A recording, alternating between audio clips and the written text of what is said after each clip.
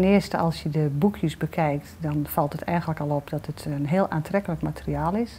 Boekjes zijn, uh, zijn uh, mooi van, van vorm en uh, van kleur. Dus voor kinderen is dat heel aantrekkelijk. Er staan foto's in, wat voor de kinderen natuurlijk heel aantrekkelijk is. veel foto's van situaties die voor hun bekend zijn. En er staan tekeningen in die ook heel herkenbaar zijn voor de, voor de kinderen.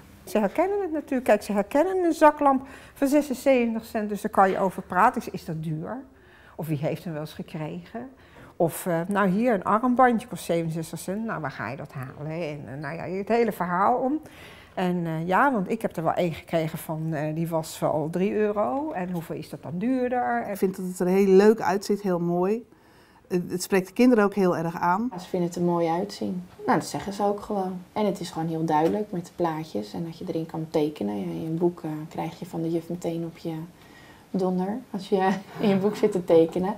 En nu mag het. Nu zeg ik van, joh, uh, zet maar cirkels hoor, dat maakt niet uit. Nou, um, bij die andere methode toen, dat, nu zijn er iets meer uh, kleuren bij. Dat vind ik wel wat fijn.